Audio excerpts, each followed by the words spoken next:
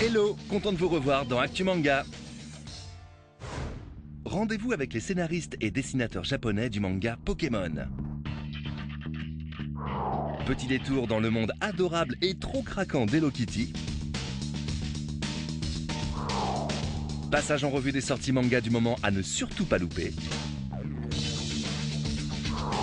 Enfin, Heroic Fantasy avec l'intégrale DVD du Chant des Rêves.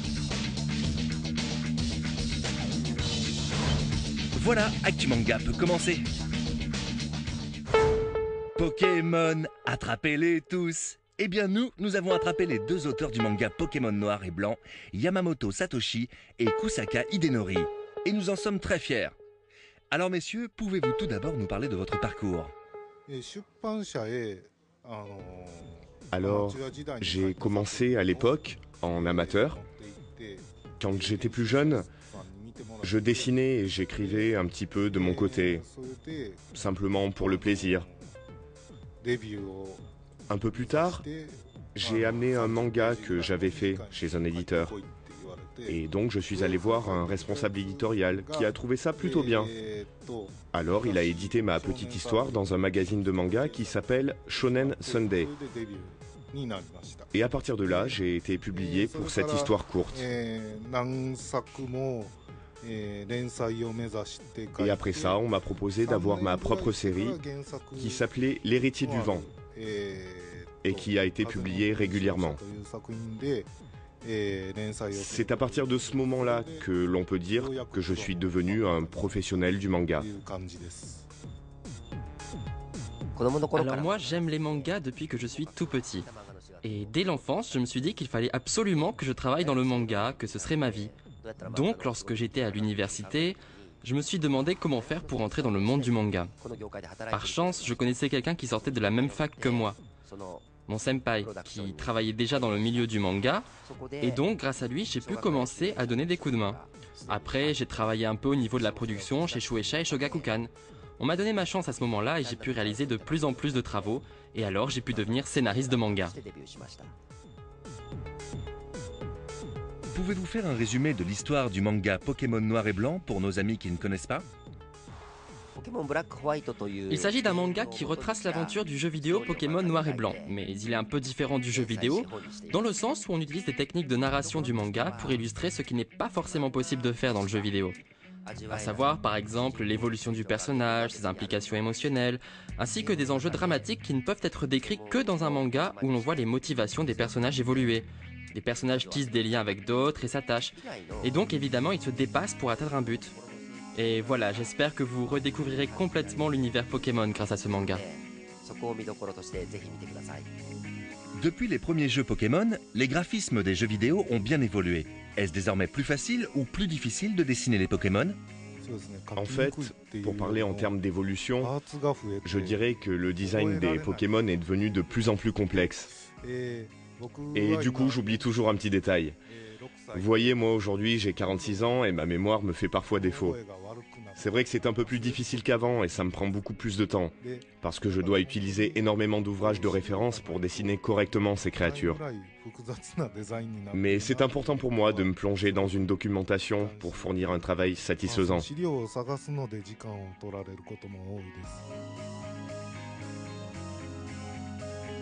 Quelle est la scène que vous avez préféré dessiner ou écrire En ce qui concerne Pokémon Noir et Blanc, je pense que ce jeu-là s'adresse à des joueurs un petit peu plus âgés que les anciens épisodes. Donc en prenant en compte ces considérations, je me suis dit que moi aussi je pourrais mettre la barre un peu plus haut. Il faut savoir que d'une part, quand je dessine le manga d'une manière générale, je ne me dis pas à chaque instant que je m'adresse directement aux enfants. Mais sur Pokémon Noir et Blanc, je me suis dit que je pouvais me permettre de dessiner certaines scènes dramatiques, comme si je m'adressais à des adolescents, on va dire. Et sinon, pour vous répondre, ce n'est pas forcément ma scène préférée, mais c'est la scène dans laquelle j'ai mis le plus d'énergie, et dont je suis le plus content du résultat. C'est la scène où N provoque Blanche dans la grande roue. La mise en scène est dramatique parce que l'on voit N qui se rapproche d'elle de manière assez perturbante. Il lui fait la morale, il lui explique qu'elle a tort, il la rabaisse et l'humilie. On voit ensuite Blanche trahie par son propre Pokémon, et ensuite on la voit tomber de la grande roue, et à partir de là, elle va décider de se reprendre en main, de mieux comprendre les Pokémon, et de devenir plus forte grâce au métro combat. Toute cette séquence me paraît réussie d'un point de vue de la dramaturgie. C'est vrai que de dessiner pour des gens un peu plus âgés que d'habitude, ça m'aide. Mais en tant que dessinateur, j'aime aussi glisser par-ci par-là quelques éléments provocateurs.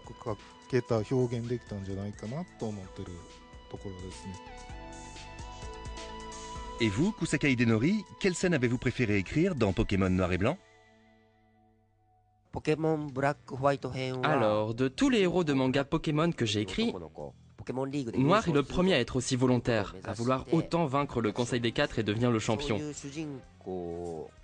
C'est la première fois que j'ai un personnage aussi déterminé dès le début de l'histoire.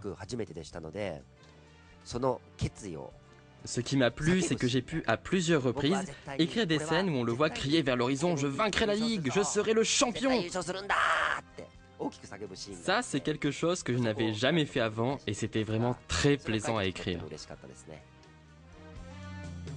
Dernière question pour vous, messieurs. Quels sont vos coups de cœur du moment Alors moi, je sépare les mangas que j'apprécie en deux catégories. Il y a d'abord les mangas que je lis pour étudier le dessin, et ensuite les mangas que je lis pour simplement me divertir. Le manga dont j'étudie le graphisme en ce moment, c'est un manga qui s'appelle Moyashimon, et l'autre que je lis pour le plaisir, il s'appelle Manga Kokudo. Mon manga du moment, c'est un manga publié dans le magazine Spirit qui s'appelle Mogura no Uta. Pika Pika Merci beaucoup à vous deux. Nous rappelons que Pokémon Noir et Blanc est édité chez Kurokawa.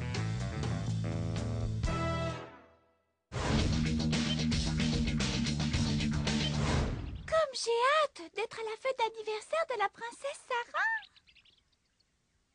Bon, mettons-nous en route comme j'ai hâte de retrouver les aventures d'Hello Kitty. En plus, il semblerait que les petits héros soient invités à l'anniversaire de la belle princesse. Waouh, c'est trop mignon. Et c'est Dybex, l'éditeur de ce DVD. à la forêt enchantée, comme marqué sur l'invitation. Tu te souviens dans quelle direction on doit aller? Euh... euh oui, c'est par là. D'accord. Les filles marchèrent encore un peu, mais tout à coup, la forêt changea radicalement. Ça devrait être la forêt enchantée, mais elle est bien sombre. C'est normal. Toute vie a quitté cet endroit. Voici tout ce qu'il reste de la forêt enchantée. Euh, euh, vous êtes sûr? Oui. Malheureusement, je suppose que vous venez pour l'anniversaire de la princesse. Euh, oui, on a reçu une invitation l'autre jour. Il y avait marqué que c'était une surprise pour la princesse. Ça l'était, mais ça ne l'est plus. Oh, ça l'est plus? Elle a tout découvert? Non, mais la fête a été annulée. Depuis que les invitations sont parties, la couronne a été volée. De tristesse, la princesse est tombée gravement malade. Oh non, la pauvre Tu crois qu'il dit vrai? On ferait bien d'aller vérifier par nous-mêmes. Si ça ne vous dérange pas, on voudrait voir la princesse. Au moins pour lui souhaiter bon anniversaire. Attendez, revenez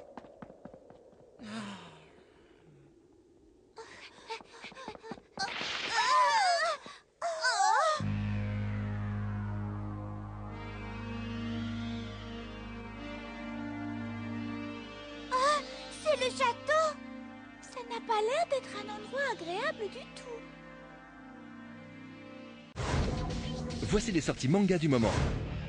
Le vampire le plus geek revient dans le tome 4 de Bloodlad chez Kurokawa. C'est le retour de l'homme singe avec Buster Kill tome 6 chez Kana. Du jeu vidéo au manga, il n'y a qu'un pas avec Fate Stay Night tome 13 chez Pika. Shoot, Petit Pont et Foot pour la vie avec Inazuma Eleven tome 10 chez Kurokawa. Les collégiens ont des pouvoirs et des conflits à régler dans Iris Zero tome 5 chez Doki Doki. Retour aux valeurs sûres du shonen avec Jinbei Evolution tome 3 chez Delcourt. Nouveauté shoujo à découvrir avec La fleur millénaire tome 1 chez Kazé. Autre nouveauté mélo autour d'un triangle amoureux dans Les fleurs du passé tome 1 chez Komiku.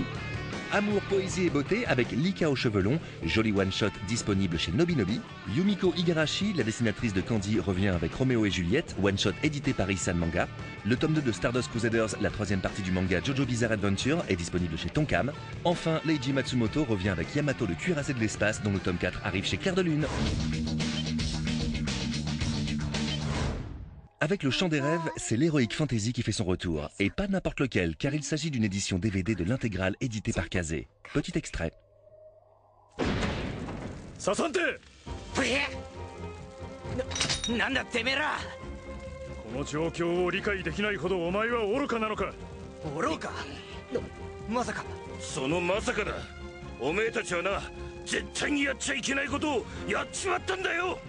あのババアがくたばったとでも言うのか？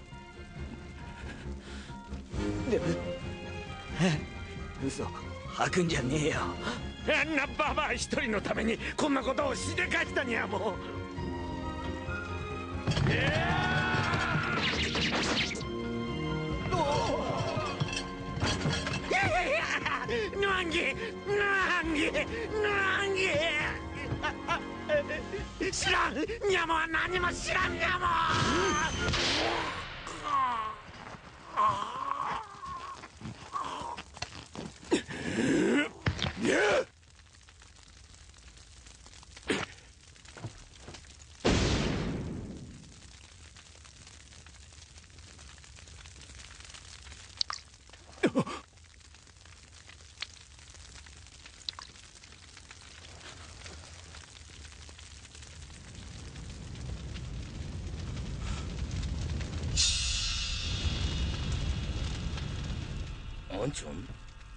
アンチョン親父さん終わったぜ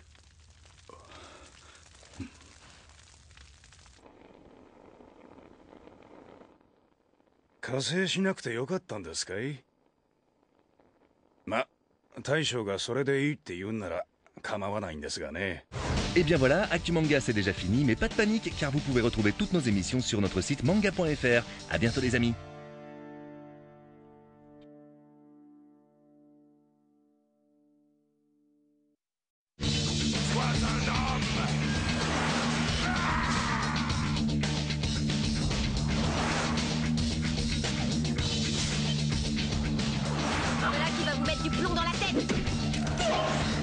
Hello, content de vous revoir dans Actu Manga.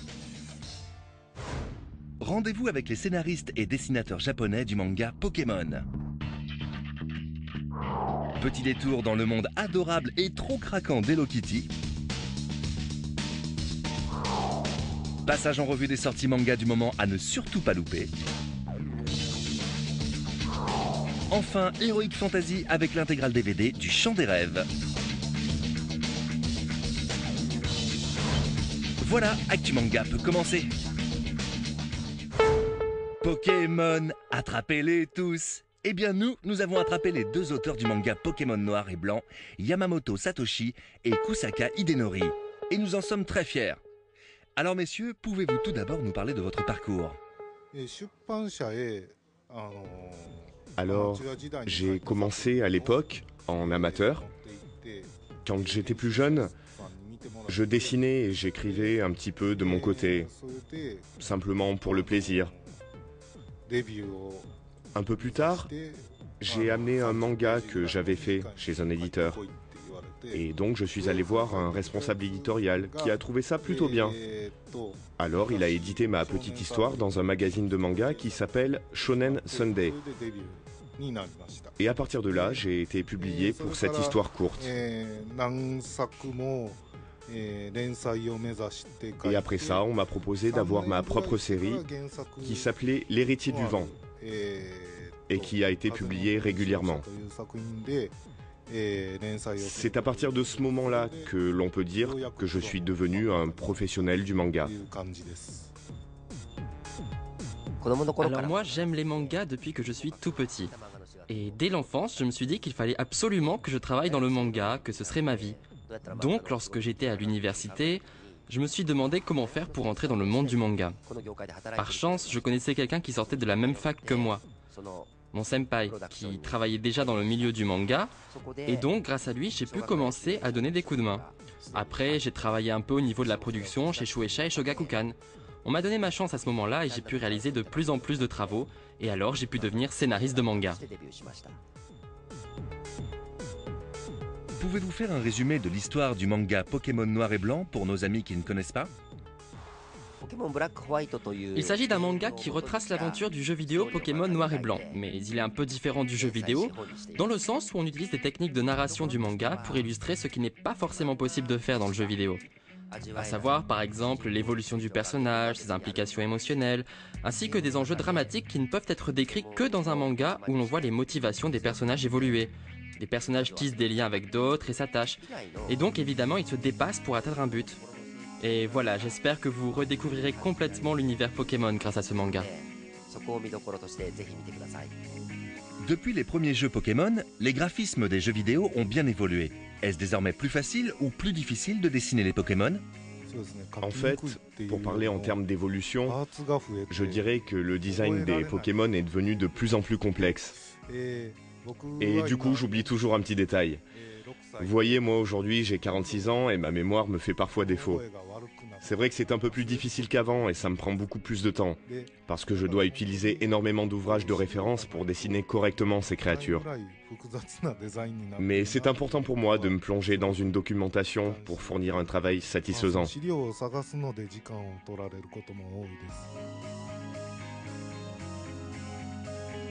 Quelle est la scène que vous avez préféré dessiner ou écrire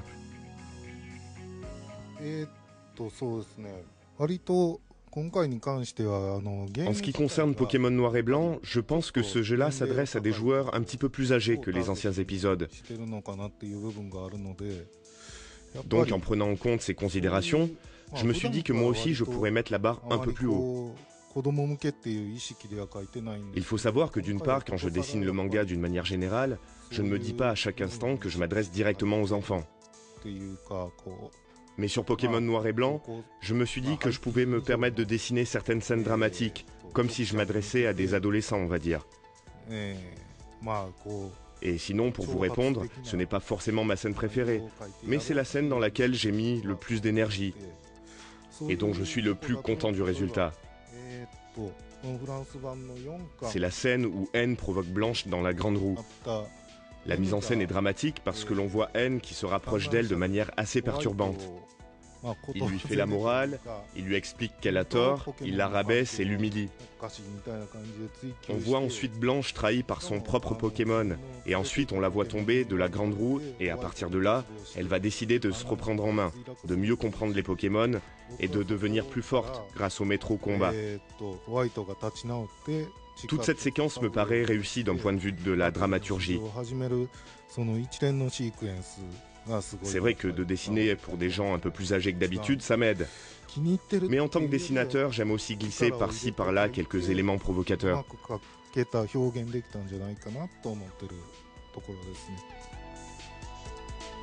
Et vous, Kusaka Hidenori, quelle scène avez-vous préféré écrire dans Pokémon Noir et Blanc?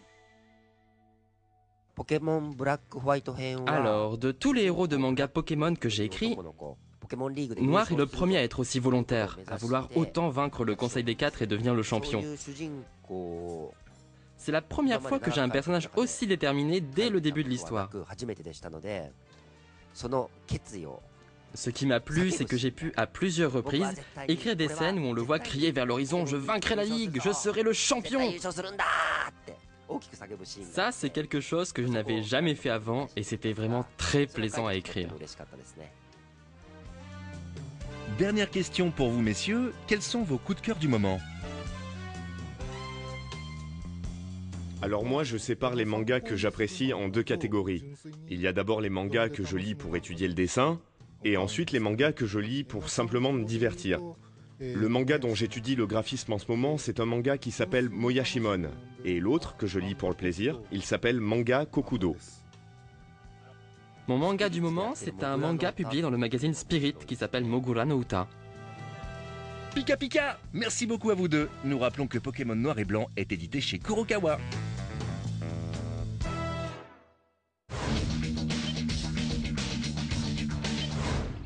J'ai hâte d'être à la fête d'anniversaire de la princesse Sarah. Bon, mettons-nous en route comme j'ai hâte de retrouver les aventures d'Hello Kitty. En plus, il semblerait que les petits héros soient invités à l'anniversaire de la belle princesse. Waouh, c'est trop mignon. Et c'est Dybex, l'éditeur de ce DVD. à la forêt enchantée, comme marqué sur l'invitation? Tu te souviens dans quelle direction on doit aller? Euh, euh, oui, c'est par là. D'accord.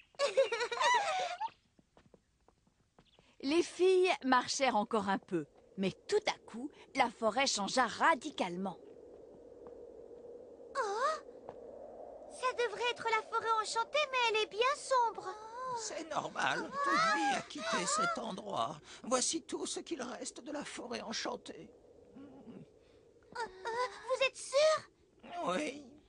Malheureusement, je suppose que vous venez pour l'anniversaire de la princesse. Euh, oui, on a reçu une invitation l'autre jour. Il y avait marqué que c'était une surprise pour la princesse. Ça l'était, mais ça ne l'est plus. Oh, ça l'est plus? Elle a tout découvert? Non, mais la fête a été annulée. Depuis que les invitations sont parties, la couronne a été volée. De tristesse, la princesse